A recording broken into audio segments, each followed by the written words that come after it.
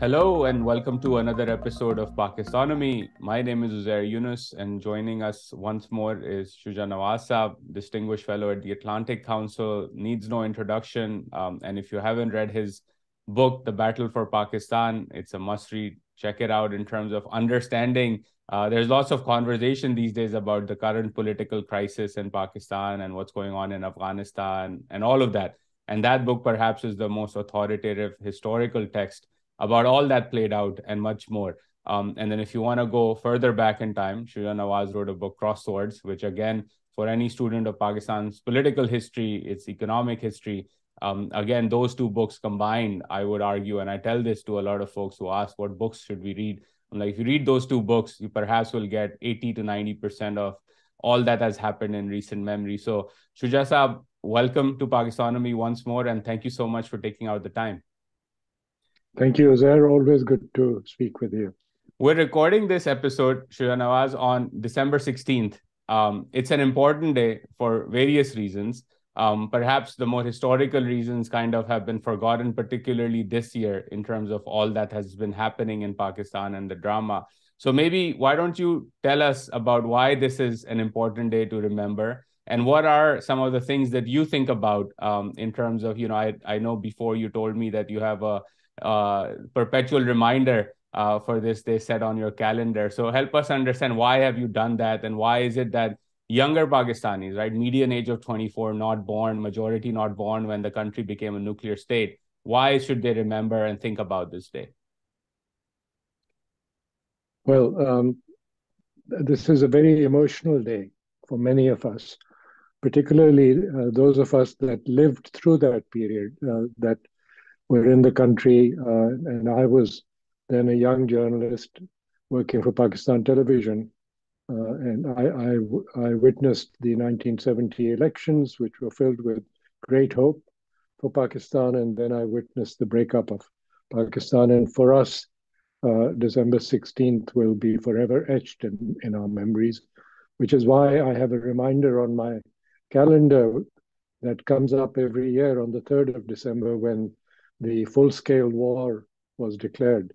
Uh, and then uh, this day, of course, uh, when the instrument of surrender was signed by General Niazi and, and General Aurora in Dhaka. And um, the word Bangladesh was officially recognized in that document um, by Pakistan and signed by General Niazi on behalf of the Pakistan Army. Uh, and uh, we, we had for the first time, uh, the surrender of Pakistani troops uh, in, in such large numbers to the Indian army. It was not a surrender to the Bangladeshis or to the Mukti Bahini, it was a surrender to the Indian army. So it remains forever etched in our memory. Um, and I was thinking um, if uh, T.S. Eliot were to write uh, a new version, if he were to come back to Earth and write a new version of The Wasteland. Uh, his opening lines for Pakistan may well be uh, December is the cruelest month.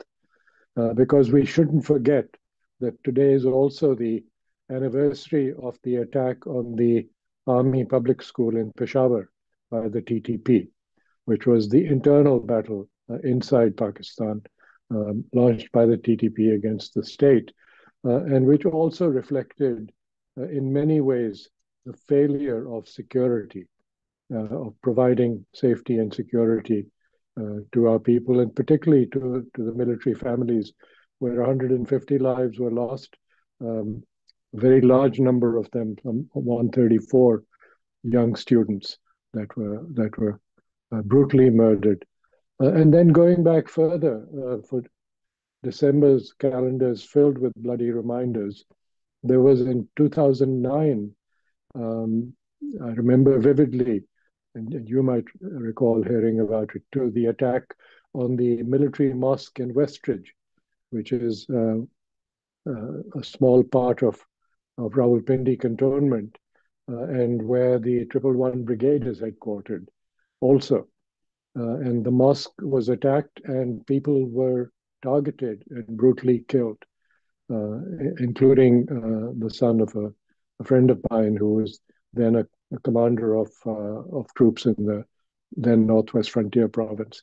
So um, these are sad and horrible reminders, but we have to deal with them. And our role, um, and particularly mine as a as a amateur historian, is to try and make sure that people go back and look at the history and see what actually happened, uh, and not the kind of wishful thinking that is often expressed by some of our leaders. You mentioned the APS attack, and again, I vividly remember that day. I was in Karachi at that point, and there was, you know, a vigil uh, at Do Talwar, and a throng of people came out. You didn't expect something like that to happen, but there was an outpouring. Uh, the campaign uh, very quickly then began, and you saw a, a sort of unity, at least short-lived unity, among political leaders, military leaders, etc. And then to add to your point about December, uh, Benazir Bhutto was martyred towards the end of this month in 2007 as well. And again, that moment uh, is etched in many of our memories. For those of us who are younger, I remember Karachi was up in flames um, at that day, on that night. Um, and, you know, nobody knew what was going to happen thereafter. Um, and of course, the years were filled with chaos following her assassination. Um, going back to 1971 and the birth of Bangladesh, um, you know, you've spoken about this on television shows a bit as well. We saw the outgoing army chief, uh, in a weird way, I would say, uh, blame politics for the birth of Bangladesh and sort of saying that this was a political failure, not a military failure. Um, how do you see the events in the run up to those uh, to the birth of Bangladesh, so to speak? What went wrong? Where did it begin to go wrong, and where ultimately uh, must the blame lie if ultimately we have to you know talk about that blame? And and what can a, a society like pakistan what should it have learned um, from that experience? I think there's enough blame to go around um, and it's not simply a question of saying uh, political or, or military defeat. Uh, the real question is it was the defeat of the idea of pakistan the idea of Pakistan that Mr. Jinnah had given us in 1947.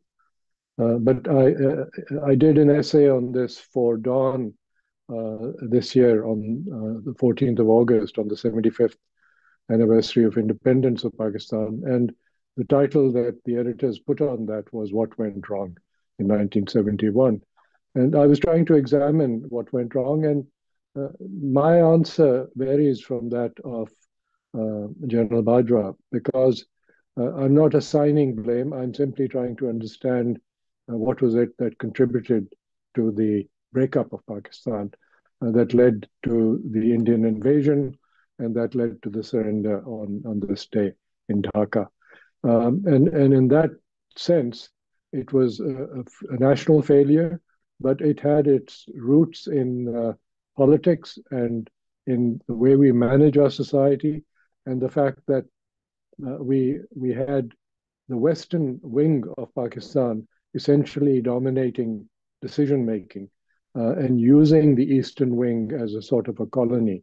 And over time, this uh, feeling grew among the people of East Pakistan, uh, culminating in a series of events uh, that happened from 1970 onwards um, that accelerated their desire to have greater autonomy first and then independence.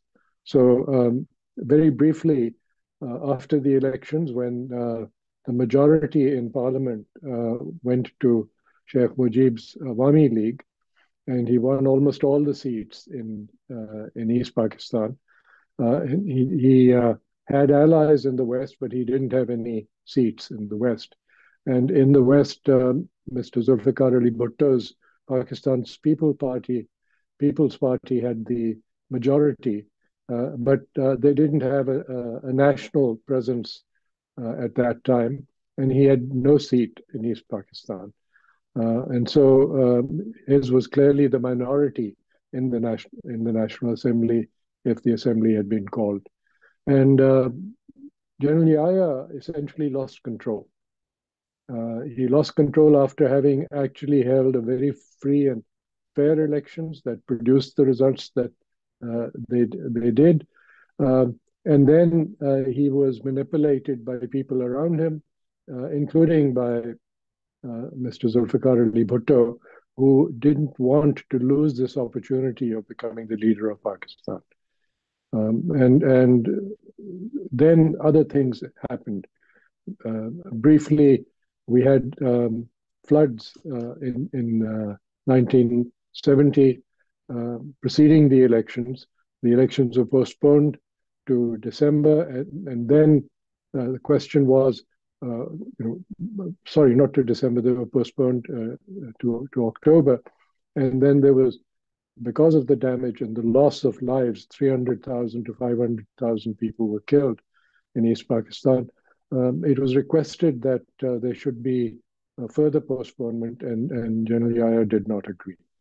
Um, Cyclone Bhola hit uh, East Pakistan after the floods in the summer, and uh, many people were killed, lives were lost, uh, the economy was destroyed uh, President Yahya was late in going there. He had to make two trips to make up for the fact that he was late in going there. Uh, and that further alienated the people of East Pakistan and allowed the Awami League to talk about greater autonomy and a new constitutional uh, compact uh, that would allow them to order their own affairs. And the six points which they had been presenting, which incidentally are quite uh, prominently reflected in the 18th Amendment of the current Pakistan Constitution, greater autonomy for the provinces. Uh, the six points suddenly came to the fore, and people in his party then began saying, Why do we want autonomy? Why don't we want freedom? And so when the time came for the uh, Pakistan Day celebrations in March, um, that's when uh, some of these uh, demands for independence arose inside East Pakistan. Uh, now, I, have covered the history of this in Crossed Swords quite in depth. I went into the documents, I talked to the people, and uh, it's quite clear that the military, which is always prepared for civil unrest, uh, if it is called to come out in aid of civil power, has plans. And in fact, the very first plan for controlling uh, civil unrest in East Pakistan was authored by none other than uh, the brilliant strategician, um, military man, and later politician, um, Sahibzada Yaqub Khan, who wrote the plan. Uh, and and he was quite confident that he could control the province with the, the few troops that they had uh, in East Pakistan. Uh, but then he changed his mind that uh, there was no military solution, and he tried to persuade his bosses, uh, particularly Yahya Khan, that uh, they should be political solutions. There should be talks with the Awami League, and some kind of solution should be found to the to the discontent. Um, but he was uh, deemed to be a coward. Uh, in fact, uh, people took a very dim view of his approach, and he was threatened with a court martial. He was brought back from East Pakistan, reduced his rank in rank to major general because they say technically he hadn't yet served long enough in his substantive rank of lieutenant general, uh, and so on and so forth. Um, of course, I'm glad that history uh, set that right, and he eventually got his uh, three stars back uh, and did much greater things later on as a civilian. But uh, that is that, that is sort of one of the contributing factors and so General Tikka Khan uh, was sent to East Pakistan, and then he was followed by General Niazi. Uh, now, when the troubles arose, and uh, I think it's well worth reminding, I'd like to quote from General Niazi, uh, if you allow me. Uh, because uh, he doesn't take any blame on himself, and and that is incorrect, and history is has judged him. But he says that General Tikka, instead of carrying out the task given to him, that is, to disarm the Bengali units and persons and to take into custody the Bengali leaders, resorting his orders to his troops were, quote, I want the land and not the people. Unquote. Major General Rao Farman Ali had written in his stable diary, quote, Green land of East Pakistan will be painted red, unquote. Uh, this is what General Niazi recalls. Uh, of course, he was trying to clear his name. Uh, but essentially, um, as a military historian, I, I, see the military being occupied in two wars. There was one uh, war which was to be fought against India at the borders to prevent the ingress of Indian troops in support of the Mukti Bahini, whom they'd been training something like 200,000 of them, uh, and equipping and assisting with uh, selected troops to go into East Pakistan and cause uh, trouble for the Pakistan military. And the other one was the internal uh, situation where you had essentially a foreign force uh, that uh, had been sent without weapons because the Sri Lankan authorities wouldn't allow them to go via their airport uh, in Colombo uh, if they were carrying weapons. And then weapons were provided to them once they got there. Uh, they were ill equipped. There was almost no air force. The Navy was very limited. Uh, and, and not that the Navy was going to play a role. And they were surrounded by an overwhelming uh, number of Indian forces because India had, was actually not ready for military action uh, when trouble began in East Pakistan in March and April. And uh, uh, General uh, Manekshaw actually asked for time to prepare. And it was only after the monsoons he said that he could actually try and uh, invade East Pakistan because before that the land is flooded and there's no movement and you're confined to roads and you can be stopped very easily, as we've seen the Russians uh, confronting uh, the Ukrainians where they resorted to, to roads. So that was kind of the background. Again, on, on this, back, if if I may quickly interrupt, yeah. a couple of things that I wanted to touch upon on this as well. Like you know, growing up and even now, when you have armchair discussions with folks about what happened in Bangladesh, one hears a couple of things that are often repeated. One, Zulfikar Ali Bhutto said, "Idhar to mudar hum." You hear us there. Um, would love your thoughts on did he actually say that and what's the context of that statement? The second thing one hears obviously is that America betrayed Pakistan by not supporting the Pakistan army in, in 1971 in East Pakistan.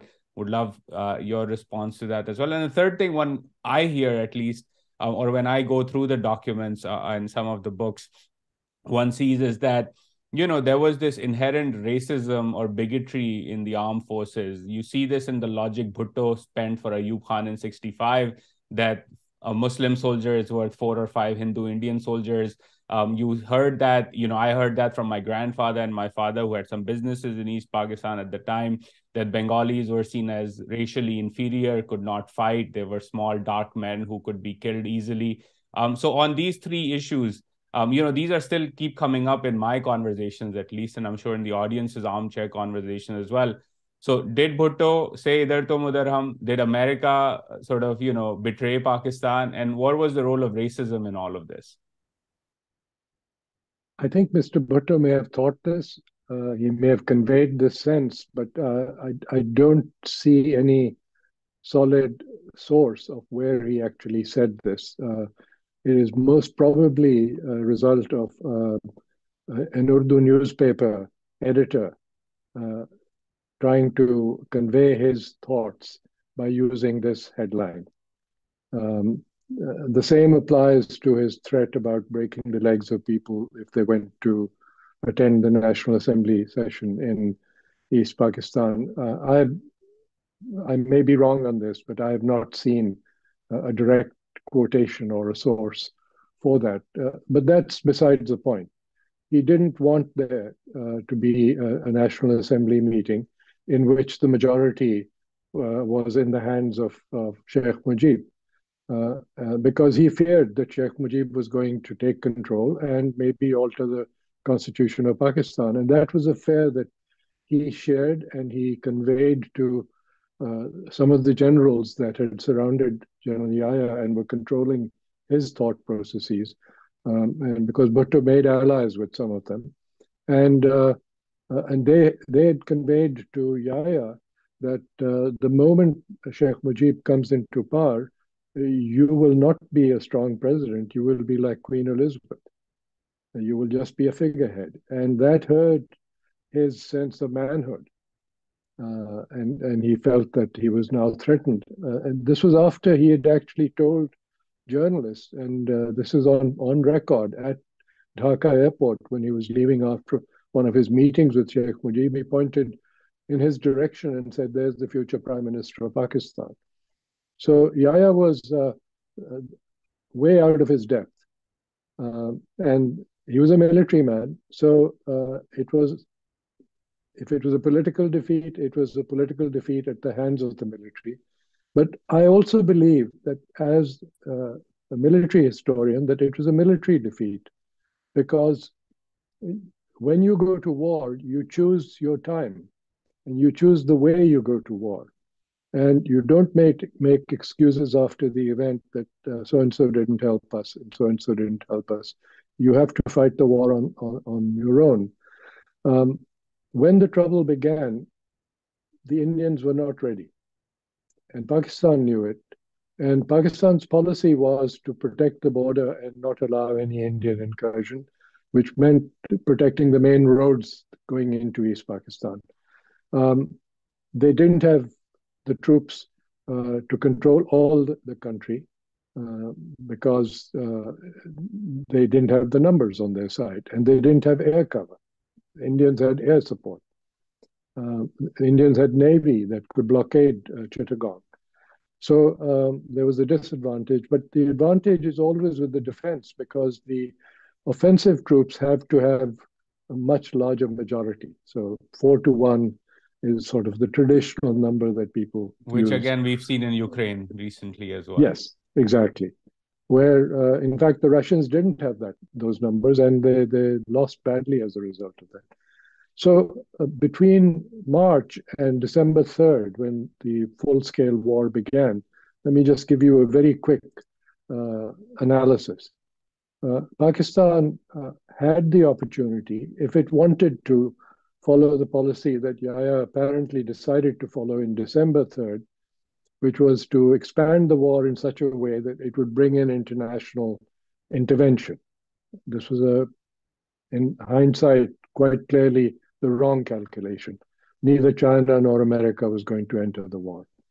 Let's park this thought for a minute. Yes. I, I just stream of consciousness. It's a it it keeps recurring in Pakistan history because we had similar logic in Kargil um, as well that we will internationalize the issue and somehow the international community will force India to act a certain way. But it's interesting that it goes that far back as well. Yes, and uh, this has been a traditional thought processes a process in GHQ. Um, when they are in political power, that they think uh, they can control the, the way the world will act and react. And unfortunately, the world doesn't think along those lines.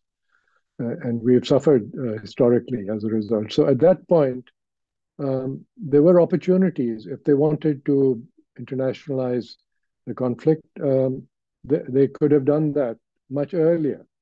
In fact, in September, uh, when they moved the troops from Peshawar, the 7 Div, and other divisions um, to their operational areas along the India Pakistan border in West Pakistan, uh, they had the advantage. If they wanted to, they could have made a move on East, uh, East Punjab uh, and uh, tried to create a crisis that the world would take note of. Uh, but they didn't.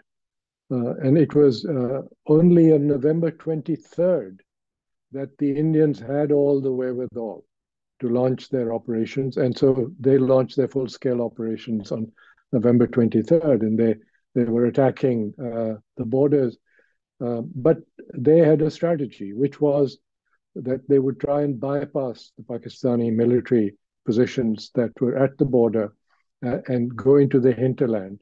Uh, interestingly, uh, they didn't appear to have a strategy to capture Dhaka. That was something that was thought at the local level, not at the strategic higher command level. And it was the locals that eventually came up with the idea of dropping some paratroops at Tangail and heading towards Dhaka. And uh, there are first person accounts from the regiments that were involved in that, including uh, General uh, Satish Nambiar, who, who was a a major at that time, and I think he may have been the second in command of, of what's known as the Jangi Paltan.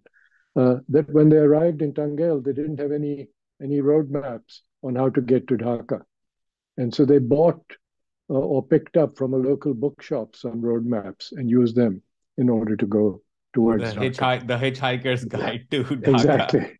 Yes. And so uh, that's the way it, it happened.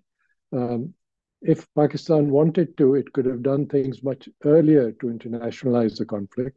And India was then at a military disadvantage and not fully prepared. Uh, but they didn't. And then, and this is the part I, have covered in Crossed Swords also, uh, on December the 3rd, Pakistan launched air attacks on Indian airfields with uh, less than 36 aircraft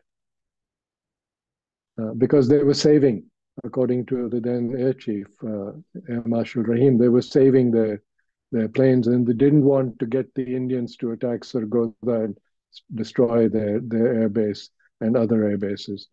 Uh, now, I compare that with um, what the Israelis did in 1967 in, in, the, in the June war. When they attacked, they had a, a little over 200 aircraft in their inventory. And uh, according to um, the book on Wings of Eagle by the former air chief, only one aircraft was left circling over Tel Aviv.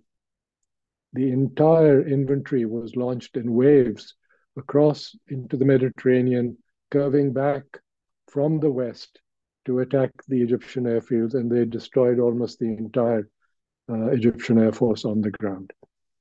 Uh, so that's the kind of daring that was needed, which was missing in the, the air attack on December the 3rd, when we said that India had attacked Pakistan, but it was in fact the opposite. Pakistan was broadening the war. Now, uh, you talk of the Americans and the Chinese.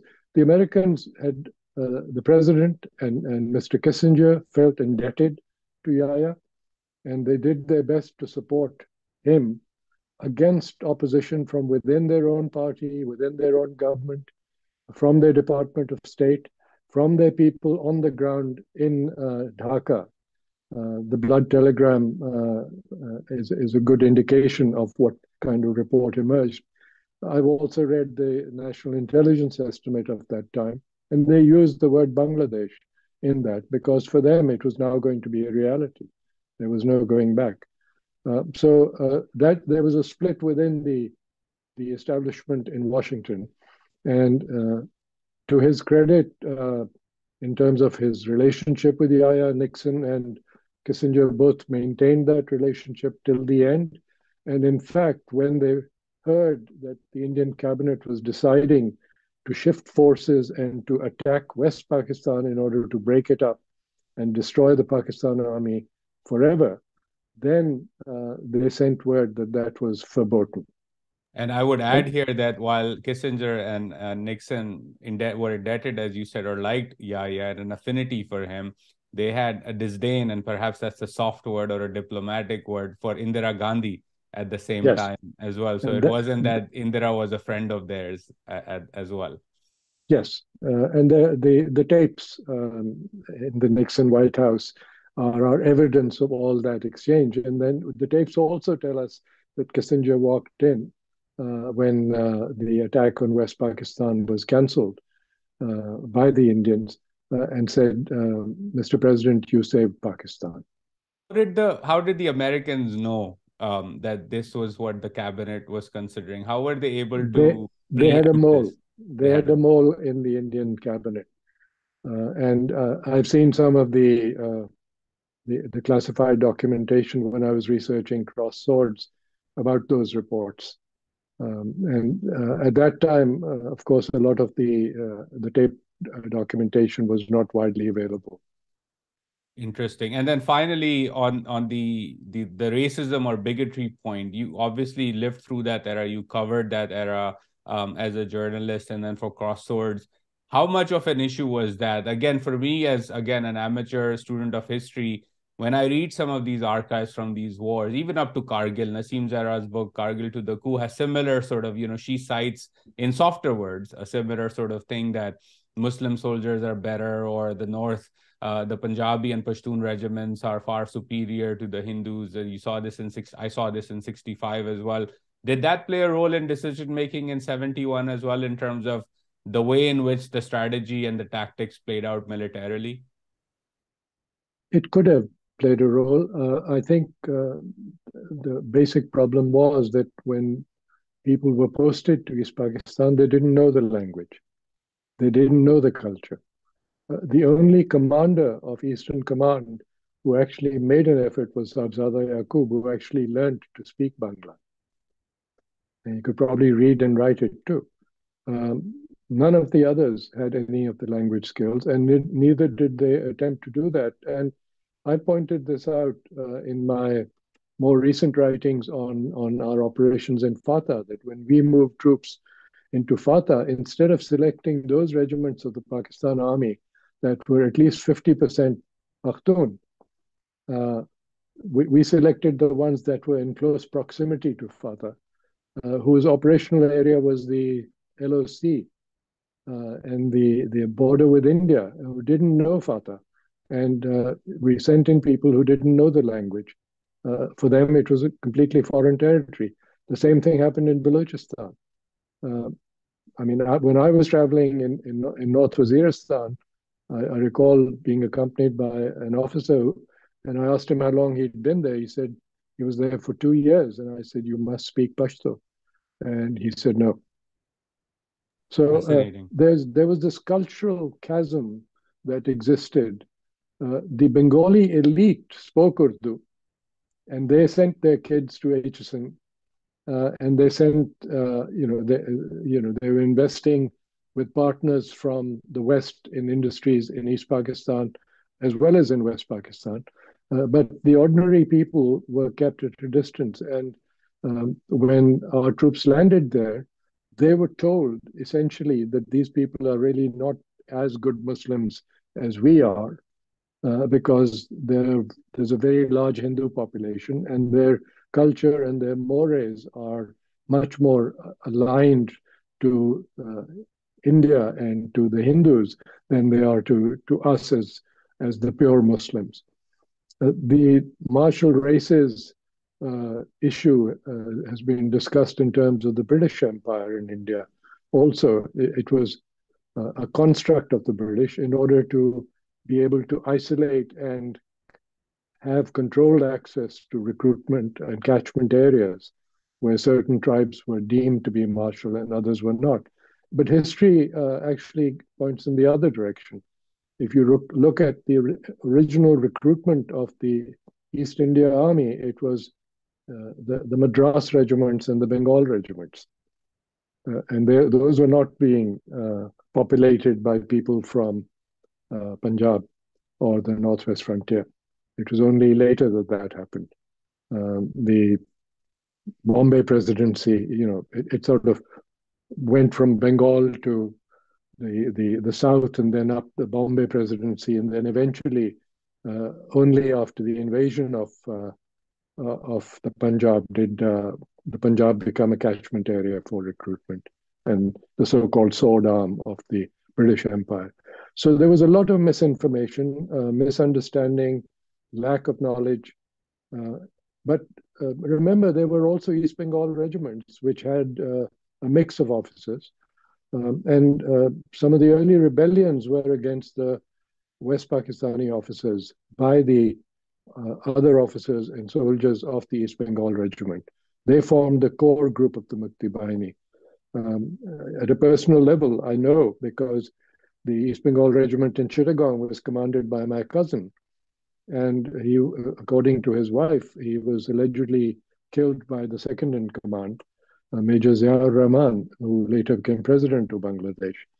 Uh, now, his wife makes this allegation. Um, there's no proof because there were no witnesses, but uh, he was asked to go back to the office and uh, told that Major Zia had sent the message, and when he arrived there, he was shot. And so that's what happened. Uh, and it happened in other places. So when the army arrived in East Pakistan, uh, they had an impetus to uh, somehow they felt uh, right the wrongs that had been done. Uh, and so this is the second battle that was going on internally. They were trying to catch people and uh, mete out justice uh, in their view. Uh, and, and so a lot of innocent people got killed. There were rapes that were documented. The numbers of people killed uh, has been debated widely, and I want to revisit that very briefly. Uh, there's only one time that 3 million was used, and that was in a story in Pravda. And then when Sheikh Mujib uh, was released and went to London, he held a press conference where he used uh, a lower figure. And uh, someone whispered in his ear that it was 3 million, and then he repeated 3 million, and then it got currency. So um, I, I don't think there's any proof of 3 million people, but it doesn't matter uh, whether it's, it's three people or 30 or 300,000 or 3 million. Uh, it was killings uh, on a large scale and a lot of innocent Biharis uh, and other people that supported the military operation were killed by the Mukti Bahini also. And I think the the legacy of that continues, right? Only a few years ago, there were hangings in in Bangladesh um, of the Jamaat leadership uh, in relation to 1971 as well. Um, I think Chaudhry Nisar made a big deal out of it in Islamabad as when he was interior minister. It led to a diplomatic spat of sorts. Um, but you know, as you said, the the exact number may be whatever, but the fact of the matter is, and you read the quote as well, that you know the idea was to paint the land red um, and obviously, these were Pakistanis uh, that the army was going after, and, and the loss of one innocent Pakistani life is still a crime, uh, nonetheless. Moving on from from this day, right? Obviously, the surrender happens. Um, there is chaos within what is left of Pakistan, West Pakistan.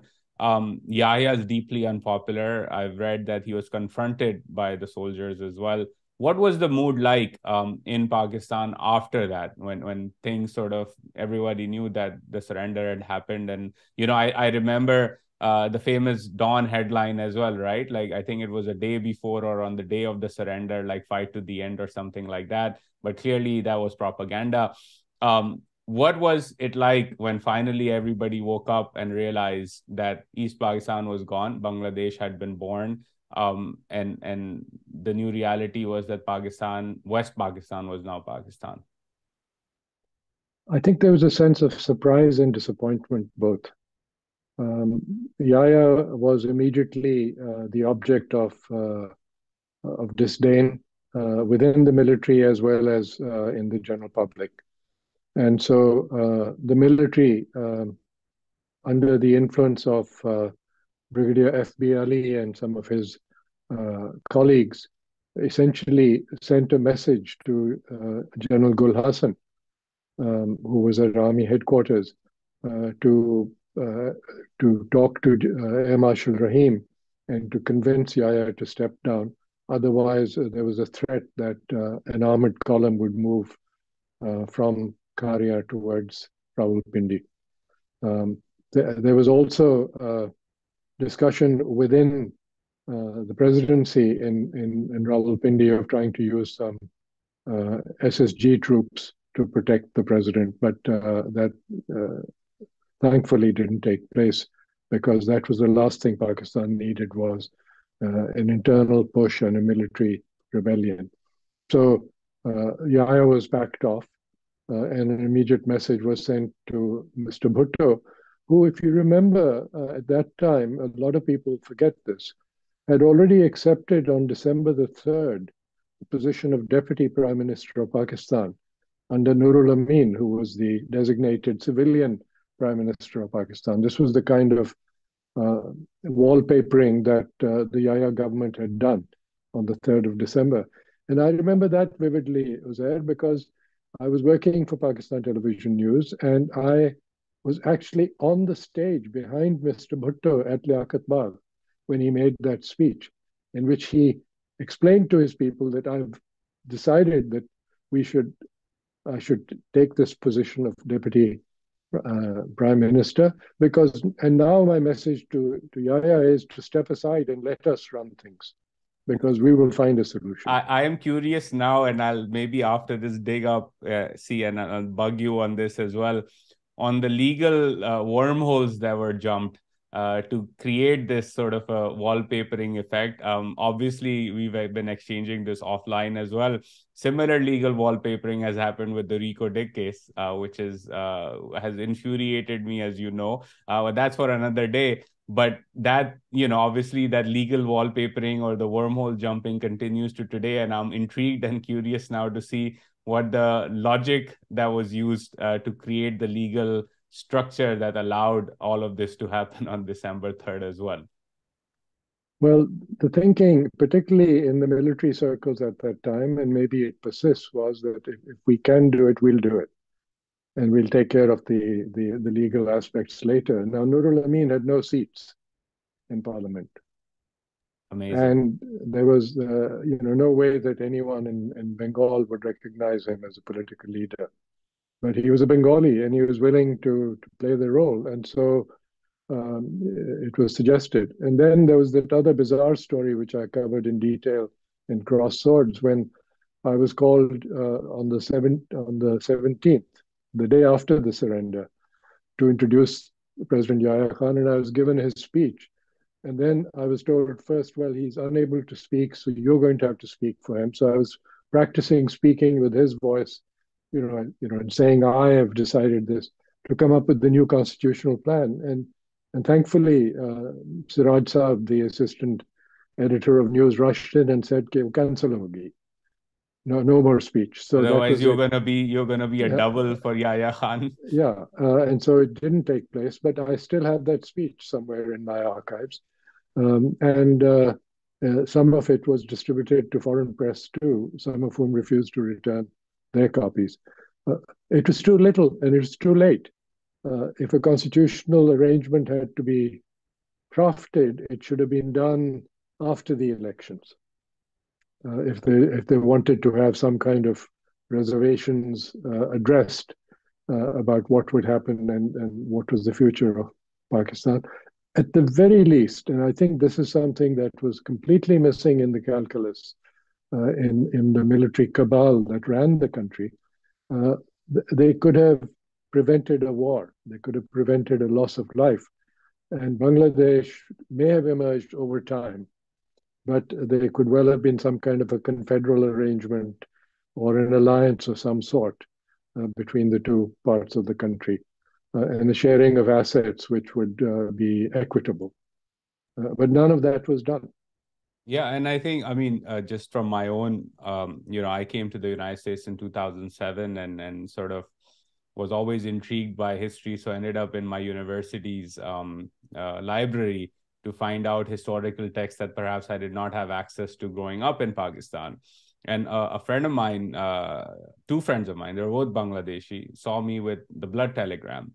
And they were like, Well, why are you reading this? And I was like, Well, I just wanted to understand and was curious about what happened um, and we would talk about this right? And and the cultural affinity the friendship the the the the ability of bangladeshis and pakistanis to engage and interact with each other remained after all these years and after the brutality of 1971 but as i read that book it came as a shocker to me that nobody had bothered teaching us about what exactly had happened because again, if you don't learn from history, you're supposed to repeat it over and over again, which I wanted to ask you about as well, is looking back at this, um, where we are today, what our friend Mosharraf Zaidi calls the poly crisis or the perma crisis in Pakistan. The last year or so has been an absolute disaster.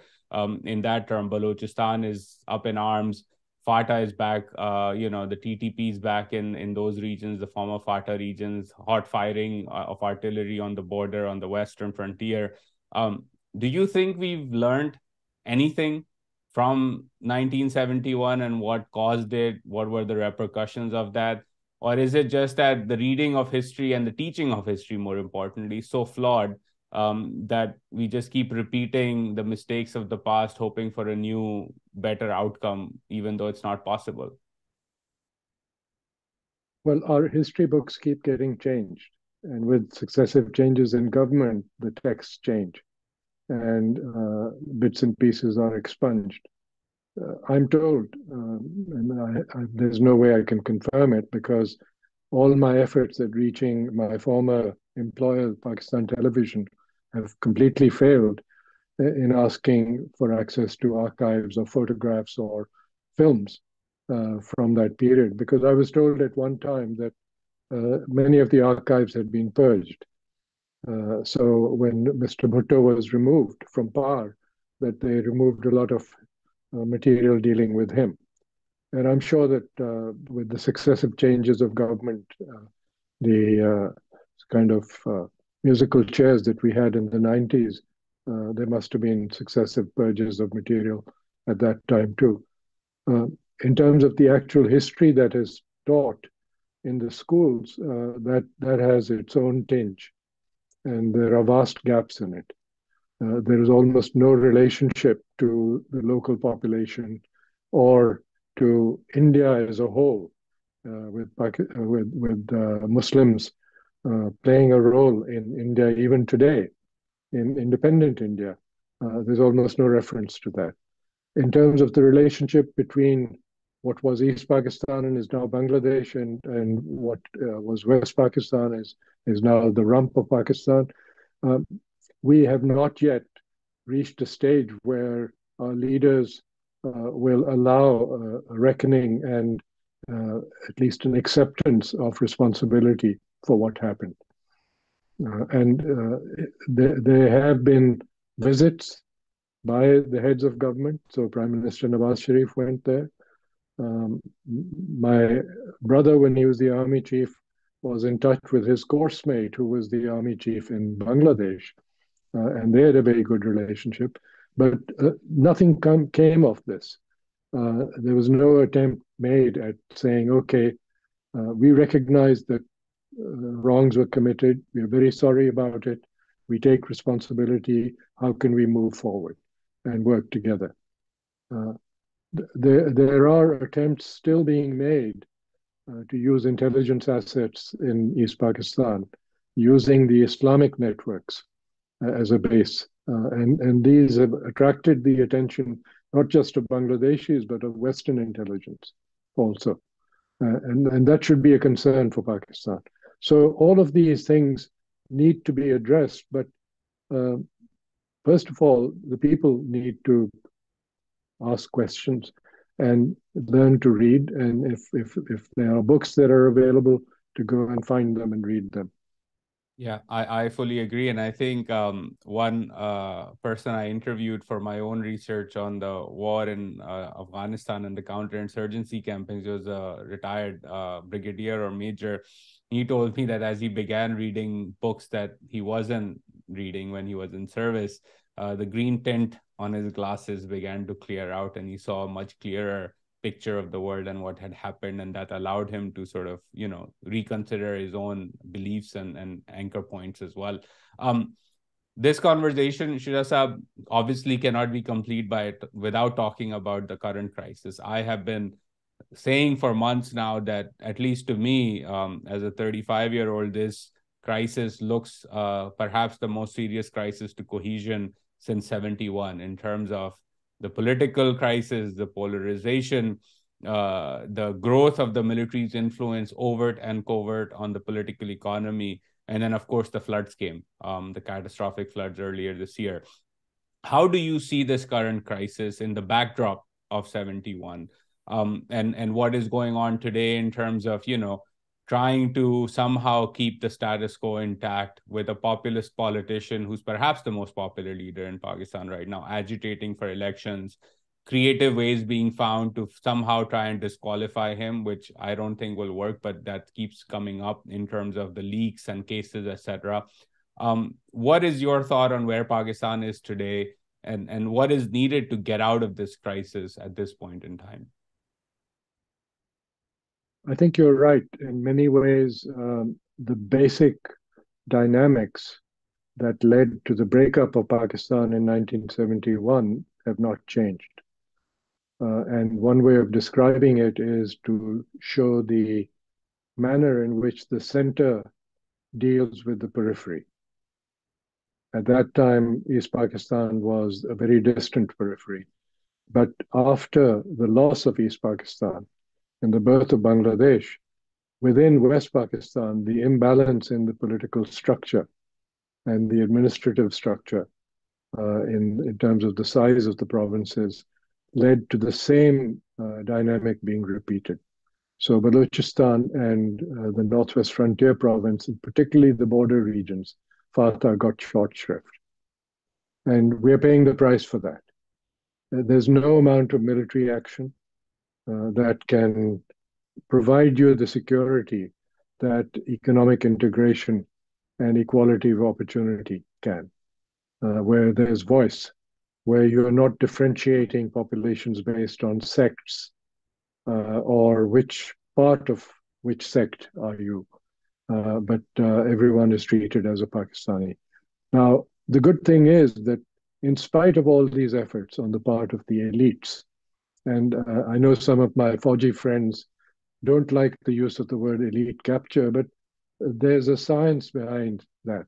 It, it, it is now an accepted term in social science to to describe the kind of uh, um, loot and pillage that occurs by people that have uh, preferred access to resources and that have created what I call uh, the culture of entitlement in Pakistan. And to quickly well, interrupt you, uh, yeah. if I can, um, you know, there's also this this perception when you when what you said when I say that people respond saying, well, it's legal well capture can be legal it doesn't have to be illegal for it to be loot and corruption and extraction i think it's important for people to understand that that east india company was extracting and pillaging resources out of the subcontinent legally there was nothing illegal about it um, so it's I, I just wanted to point that out as well for people who get confused about the legality of these things Yes, that's why I call, I call it the culture of entitlement because when you create legal entitlements and you define them in a way that benefits you as opposed to other elements of your society, then that's what elite capture becomes. And it is institutionalized in both the civil and the military. I mean, you and I have been exchanging uh, messages about the fact that even journalists have now been allotted land at preferred rates in colonies by the government, which in any other society would be considered an outright bribe. Uh, and, and any self-respecting journalist would not want his or her name associated with the receipt of that land, but uh, that's not going to be the case because it's done. Uh, we had a recent report from a former foreign secretary, uh, Mr. Shamshad Ahmed, uh, who said that he was told that he, he was uh, eligible to receive a plot of land in Islamabad, which would be worth crores today. Uh, but he was supposed to sign a piece of paper, an affidavit saying he didn't have a home. And everyone else in his category, at his level, had signed that piece of paper because it, quote unquote, it's just a piece of paper. So that's the entitlement that, that we're talking about. But, but going back to your main question, which is, you know, how far does this resemble uh, what was happening at that time? Uh, it, it may not be as dire because distance is not there, the large populations are not there, uh, but the potential for um, disruption in society and the potential for an inability to meet unexpected issues that are beyond national control whether it's natural disasters or whether it's the war in Ukraine or whether it's the price of energy on the global markets, all of these things need to be taken into account. The leadership in Pakistan, civil and military, needs to focus on creating a strong economy which is inclusive and accountable and where actions take place transparently and everyone is held accountable. Parliament has 50% of its uh, members don't pay any taxes. Uh, Pakistan postponed agricultural land reform that India instituted at the time of independence. To this day, agricultural income is not subject to income tax. And that's where the politicians and the feudals continue to benefit. at the expense of the ordinary people in the countryside? Uh, why is the rural Sindh continuing to be one of the poorest populations in the country? Uh, because of the feudal system, which has remained um, endemic to that part of, of the country. Uh, interestingly, if you look at uh, worker migration to the Gulf, um, I was told that Sindh has the lowest migration because feudal landlords will not allow anyone to go uh, because they have control over their families and their lands. And so you've had um, worker migrations taking place from FATA and from the Northwest Frontier Province, erstwhile Northwest Frontier Province, uh, and the Punjab, uh, and, and even Balochistan, which traditionally always had people going overseas um, for military and uh, economic purposes. But Sindh uh, has lost out on that. So the transfer of wealth that occurred in the Punjab, particularly in rural Punjab, has not occurred in Sindh. Yeah, and I think on the Sindh side, the PBS has the household income survey data, which I was looking up a few months ago, and it has actually a line item there in terms of household contribution, uh, income contribution from foreign remittances, and KP um, is roughly 10 to 12 percent on average, um, whereas Sindh is, I think, under two percent. Um, so yes. th- it is a stark differential. You're absolutely right on that. Um, and, and they have proximity. They have proximity. they're right next. They're right next to the Gulf. So yeah.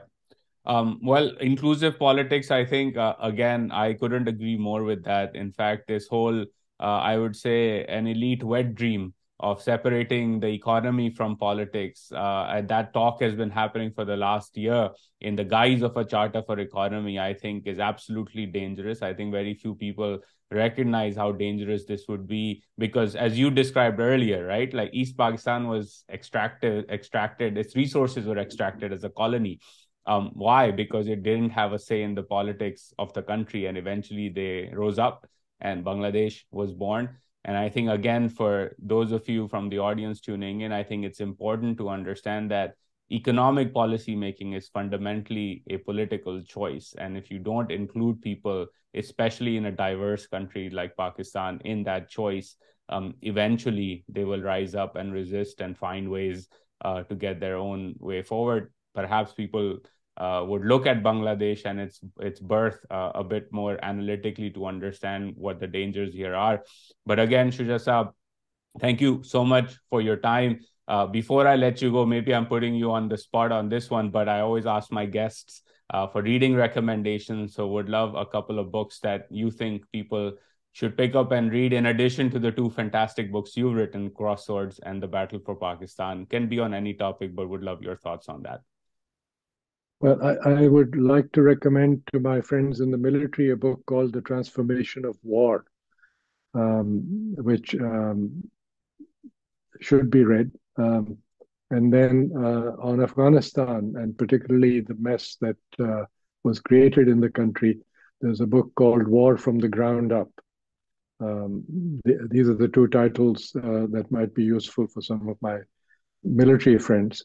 Um, I'm uh, these days, uh, as you know, I, I, donated my personal library, so I'm trying to rebuild parts of it now, and I'm trying to uh, very uh, intrigued by many of the the new novels that have emerged from uh, Pakistani uh, authors, particularly those in the diaspora. So I've now got a pile of five or six books that either have been gifted to me or that I've purchased and as soon as I've read them, I will make my recommendations again. Would looking forward to those reviews as well. I think uh, diaspora fiction or just uh, fiction. My own favorite is historical fiction because it gets you both, uh, at least from my point of view, both of the drugs that I love, which is history and a bit of drama. And historical fiction mixes the two quite well. Um, so again, thank you for your time. Always a pleasure having you, and and we'll host you soon enough on the podcast as well. I'm sure of it. But in the meantime, take care and Khudafis. Thank you. Khudafis.